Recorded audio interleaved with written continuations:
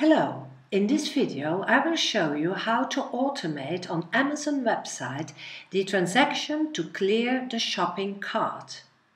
In the shopping cart we might have any item. The test case must list them one by one. I have here Chrome open with our execution enabled. I am recording the deletion of one item in the cart.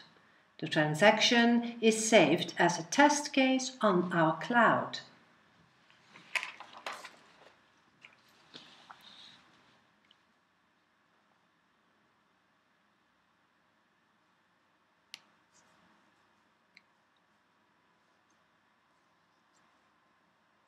I will now open the recorded test case and modify it so that we can iterate on the deletion of any item until the cart is empty.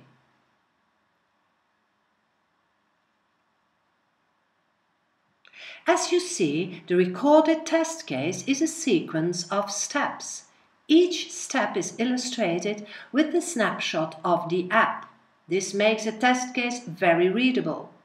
I will now select the three steps to open the cart and to delete the first item in the cart. I will create by click and point a loop that repeats this action until the cart is empty. The loop will end if the number of the cart is zero.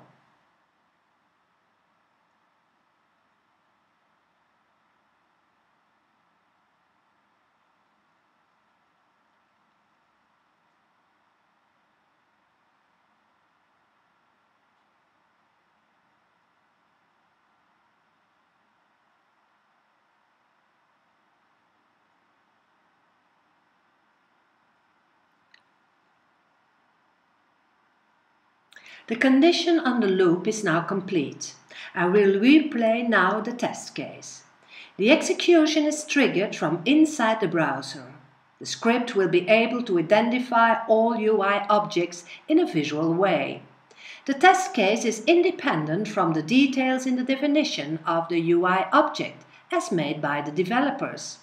This makes that the test case can be easily be re-executed on new versions of the website or even on the iOS or Android app of Amazon.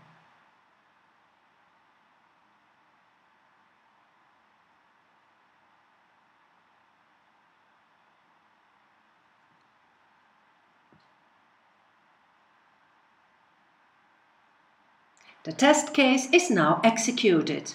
As you have seen, in just a few minutes I created a general test case that empties the Amazon cart.